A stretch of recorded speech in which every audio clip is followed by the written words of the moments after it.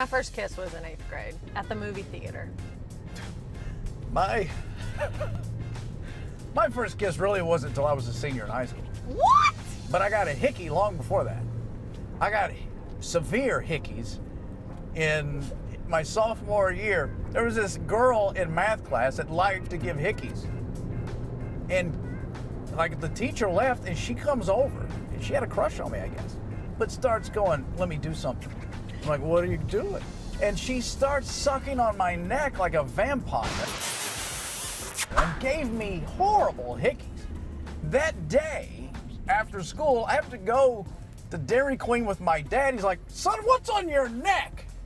I'm like, uh, what is this? What's Oh. going on with you?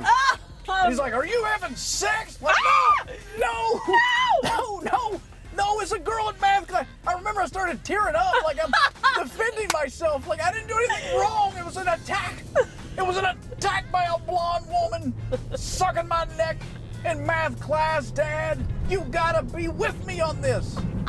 And I'm, t- I'm literally tearing up. Like I feel accused, like I've done something wrong, and I hadn't. I mean, I didn't hate it. I kind of liked it. oh, But, jeez. but God bless, that was embarrassing.